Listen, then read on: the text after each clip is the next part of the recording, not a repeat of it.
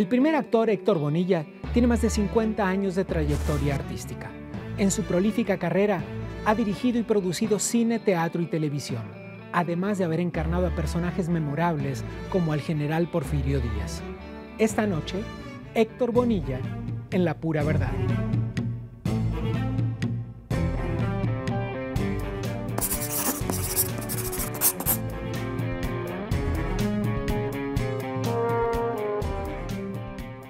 Participaste de películas ícono del cine mexicano. Rojo Amanecer, por ejemplo, donde no solo tienes una participación así cualquiera, ¿no? Es decir, es una participación clave en esa película. Este, eh, María de mi corazón, son cosas que la gente tiene para siempre en la cabeza. Y luego de eso, te internas, en, mucho, mucho después, pero te internas en un mundo que es objeto predilecto de la crítica, que son las telenovelas, y no le tienes miedo. ¿Es cada género una oportunidad? Mira, evidentemente, lo has dicho, yo considero que un actor es mejor actor mientras más géneros toque con solvencia. Claro. Y mientras más diferentes sean sus personajes entre sí. Y géneros no solo me refiero a tocar la televisión, la radio, el teatro y el cine, sino a los géneros como la comedia, el drama, la tragedia, la comedia musical, la farsa. Eh, hay que Por todas has pasado. Sí, desde luego. Eh, eh, eso es interpretar. Yo no soy actor de alfombra roja que yo veo en el mundo y aquí... Un actor, un actor de alfombra roja, dices, de estos que pasan y se paran en la foto y nada más. Pues es que ponerse muy elegante, sí tener la sonrisa como los bailarines del Bolshoi, que aunque no les salga el paso, eh, se sonríen. No, no, no, interpretar. Yo, yo vivo de, que me paguen por jugar. Bueno, es, es, uno de los trabajos este, más amables del mundo, que te paguen por jugar, pero no siempre se cobra bien por jugar, algunas veces no. Y digo, y, tú estás en obras muy comerciales y en obras casi underground algunas veces, digamos. ¿Cómo eliges cada cosa y por qué? Bueno, básicamente eh, es hablar de esto que tú dices, de tocar los géneros, ¿no? Eh, a mí me gusta abarcar todo eso. Y eh, de ninguna manera soy sectario. Hay que tener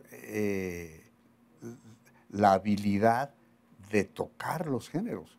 Cuando te hablaba yo de la farsa, bueno, pues así como hacer una tragedia griega, ir a burearte con la gente en un cabaret. No, para mí eso es interpretar, es ampliar la gama que tiene el trabajo del actor. ¿no?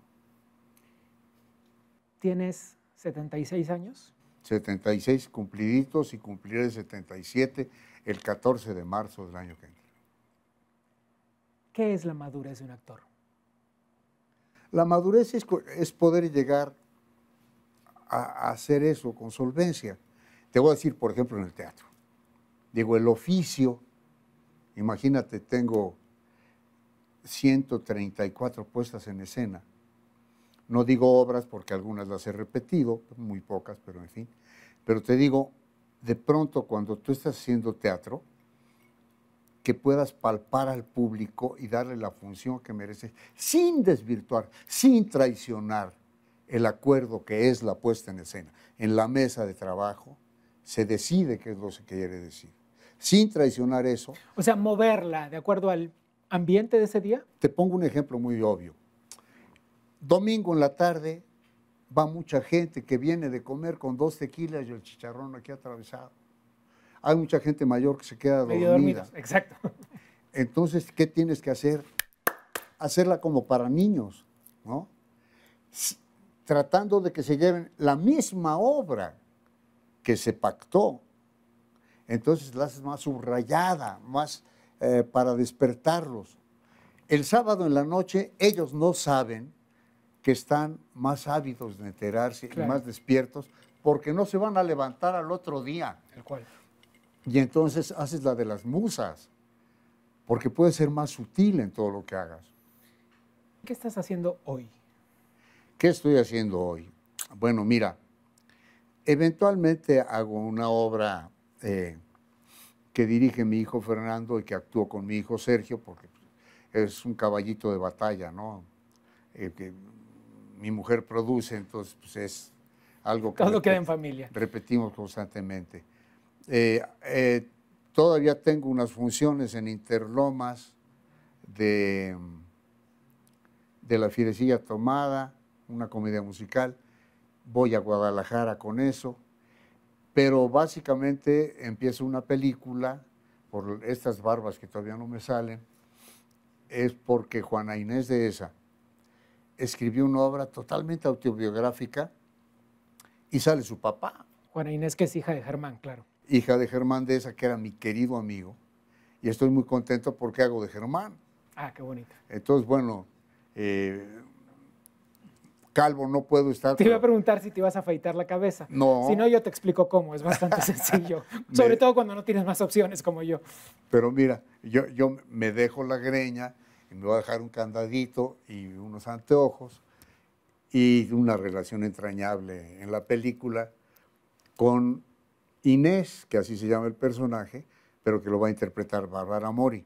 Bien acabando esta película, hago otra película sobre el sismo del 85 con Demian Bichir y pues es una película muy interesante porque es una metáfora de un país que se cae y eh, Demian hace a un empresario político que tiene la culpa de que se caiga el edificio con 272 empleados y yo hago un conserje que trabaja para él y una vez que se cae, la, película se llama 719, que es la hora del temblor, nos pasamos toda la película ya apachurrados.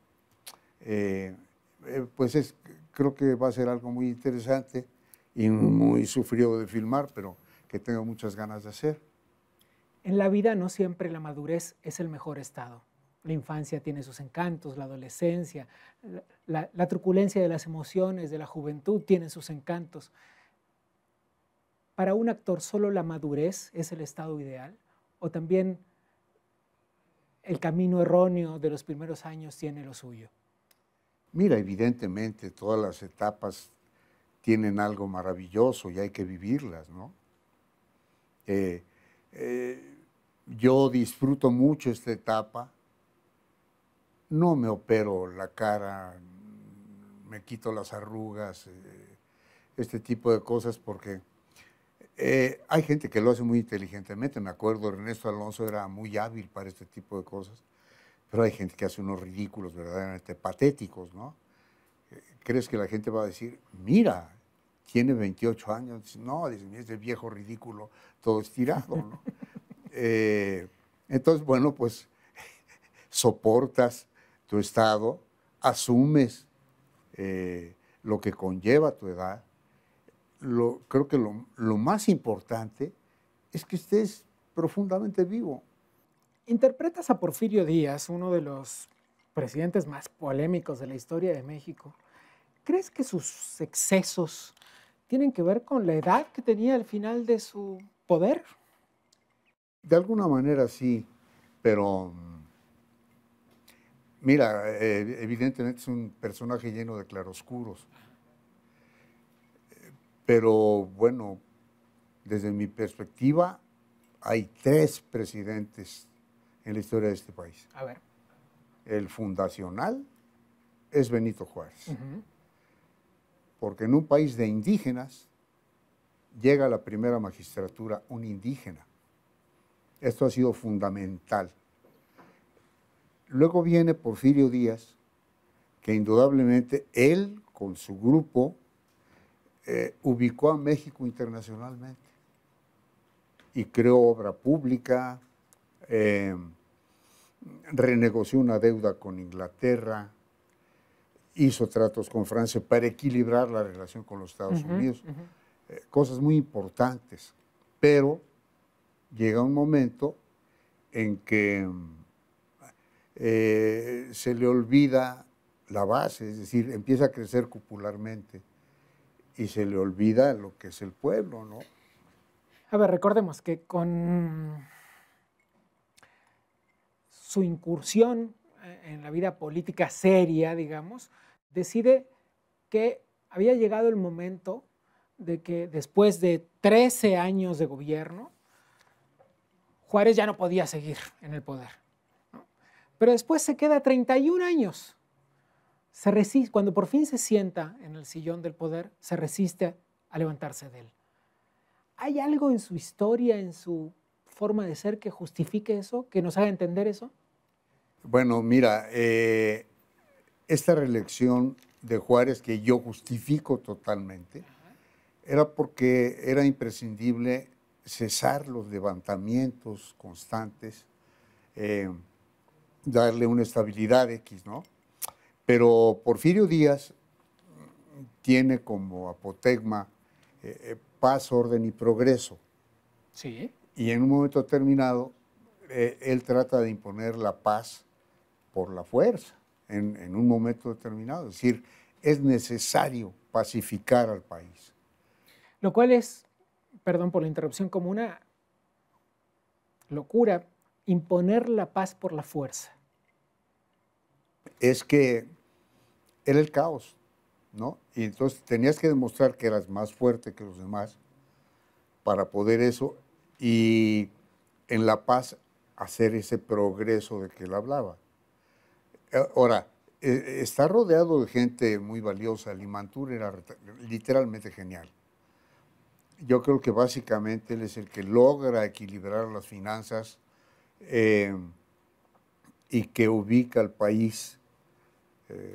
Recordemos que a las fiestas del centenario vinieron una enorme cantidad de, gente que significaban el reconocimiento mundial del país.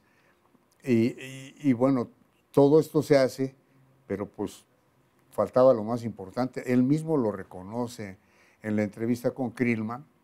La mitad de los mexicanos son indígenas y para abajo no permeaba nada. O sea que el precepto fundamental de cualquier gobierno que debe ser gobernar para la mayoría, para el bienestar de la mayoría, no era necesariamente cumplido en esa época de la historia de México. No, eh, vamos hasta la fecha, tenemos una enorme marginación y una cantidad de, de etnias, ¿no? Está los mayas, los coras, los tzotziles, los totales, los tojolobales, eh, no acabaríamos, ¿no? Eh, y evidentemente casi en extinción por, por las necesidades que nunca son resueltas, ¿no? A la hora de interpretar un personaje como este, el trabajo del actor supongo que se nutre de estas contradicciones. ¿Cómo fue el proceso, Héctor? Yo te diría una cosa, mira, un personaje es importante basado en sus contradicciones. Claro, es rico basado en sus contradicciones. Si no, son estos personajes muy esquemáticos que a veces vemos en la televisión, de los buenos buenos y los malos malos. Y la empatía con el espectador es porque el espectador también está lleno de contradicciones y dice, me parezco a ese. Y entonces es que realmente eh, afirmas, ¿no? Por eso es un personaje riquísimo, por eso me llamó mucho la atención. Déjame brindar contigo, porque cada quien encuentre en cada momento de la vida un rincón que lo haga feliz. Vale.